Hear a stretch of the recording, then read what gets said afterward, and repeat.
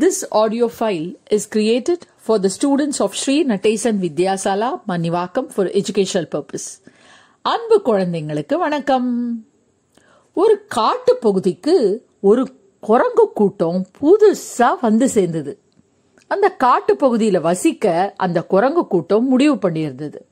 அதனால அந்த குரங்கு கூட்டங்களை எல்லாத்தையும் அதோட தலைவர் ஒரு மீட்டிங் ஏற்பாடு பண்ணி பேச ஆரம்பிச்சார். அருமை நண்பர்களே இந்த காட்டுல உங்களுக்கு தேவையான எல்லா பழங்களும் கிடைக்கும். ஆனா இந்த காட்டோட மைய ஒரு ஏரி இருக்கு.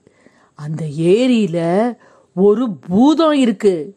அதனால உங்கள யாரும் அந்த ஏரி கிட்ட போகக்கூடாது அதுல இருக்கக்கூடிய தண்ணியையும் குடிக்கக்கூடாது அப்படி குடிச்சா உங்களுக்கு பெரிய ஆபத்து காத்திருக்கு. அப்படின்னு சொல்லித்து இதை கேட்ட மற்ற குரங்குகள் சரி சரி நாங்க அங்க போக மாட்டோம் அப்படின்னு சொல்லித்துங்க இதே போல நாட்கள் சில போணுச்சு.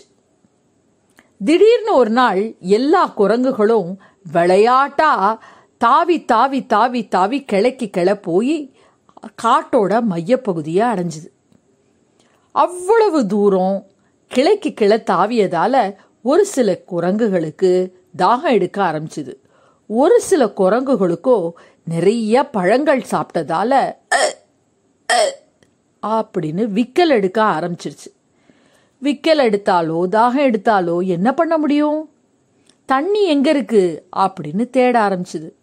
கண்ணில் பட்டது அந்த பூதம் இருக்கிற ஏரி மட்டும்தான். எல்லாம் தாகமும் விக்கலோடையும் நேர தண்ணி குடிக்க போயிடுச்சு. தலைவர் என்ன சொன்னாருங்கிறதையே மறந்து போச்சு.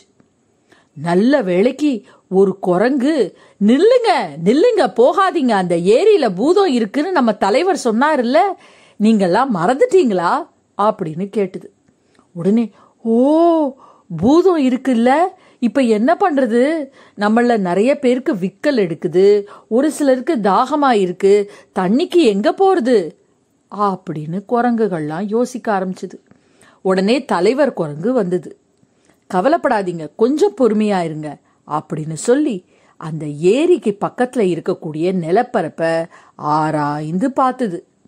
ஆராய்ந்து பார்த்தபோது ஏரிக்கு நடந்து வரா மாதிரியான கால் தடங்கள் இருந்ததே ஒழிய எந்த விலங்கோட கால் தடமும் ஏரியிலேருந்து திரும்பி போறா மாதிரியே இல்லை. அப்படின்னா என்ன அர்த்தம்?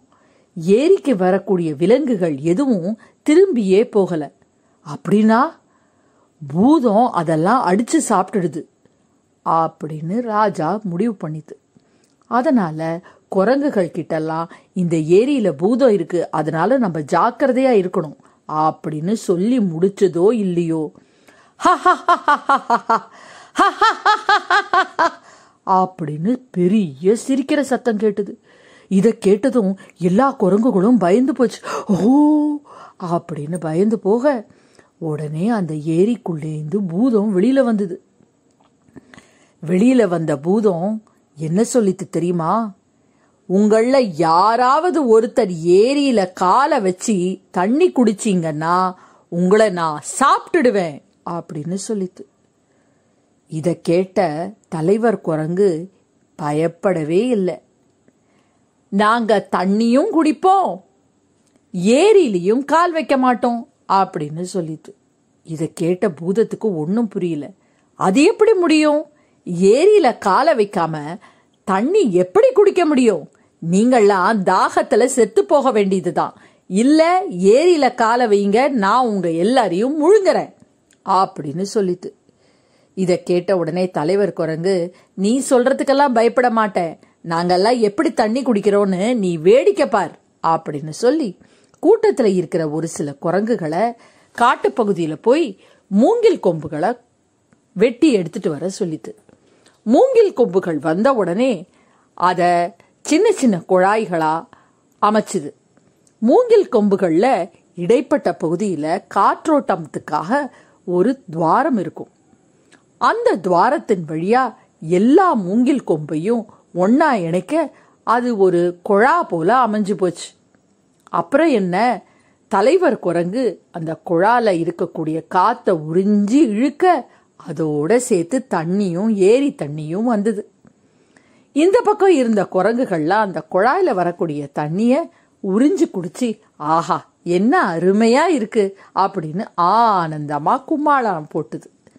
இதை பார்த்த பூதத்துக்கு இத்தனை நாளா எல்லா விலங்குகளையும் பயமுறுத்தி சாகடிச்சு வாழ்ந்தோமே இதுகளோட சந்தோஷத்தெல்லாம் நம்ம கெடுக்கிறதுக்கு காரணமாயிட்டோமே அப்படின்னு மனசு மாறித்து இந்த தலைவர் பூதத்தோட தைரியத்தாலையும் தன்னம்பிக்கையாலையும் முயற்சியாலையும் இந்த பூதமும் மனமாறித்து குரங்குகளுக்கும் தண்ணி கிடைச்சது.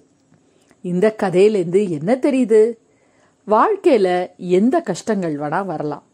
அதை எப்படி சமாளிக்கணும்னு நம்ம யோசிச்சு முடிவெடுக்கணும்.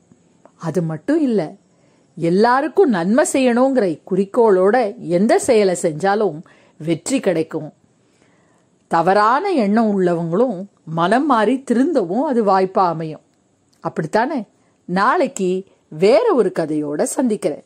நன்றி குழந்தைகளே!